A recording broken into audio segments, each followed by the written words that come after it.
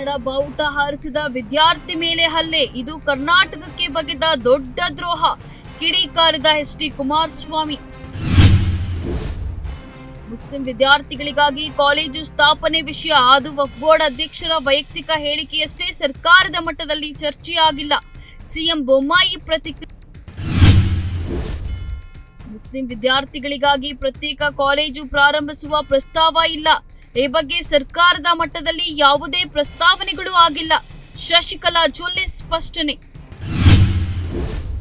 ಬಿಜೆಪಿಗೆ ಕುಸ್ತಿ ಮಾಡಲು ಜನ ಇಲ್ಲ. ಅದಕ್ಕಾಗಿ ರೌಡಿ ಶೀಟರ್ಗಳನ್ನ ಸೇರಿಸುತ್ತಿದ್ದಾರೆ ಜನರ ಭಾವನೆಗಳ ಮೇಲೆ ರಾಜಕೀಯ ಮಾಡುವುದೇ ಬಿಜೆಪಿಯ ಸಿದ್ಧಾಂತ. ಡಿಕೆ ಶಿವಕುಮಾರ್ ಕಿಡಿ. ಚುನಾವಣಾ ಅಖಾಡಕ್ಕಿಳಿಯಲಿರುವ ದಳಪತಿ ಹೊಸ ವರ್ಷದ ಆರಂಭದಿಂದಲೇ ಪ್ರಚಾರ ಆರಂಭಿಸುವ ಎಸ್ ಟಿ ದೇವೇಗೌಡ. ಮನೆ ಮನೆಗೆ ತೆರಳಿ ಪ್ರಚಾರ ಮಾಡಲು ಮುಂದಾದ ಎಸ್ಡಿಡಿ.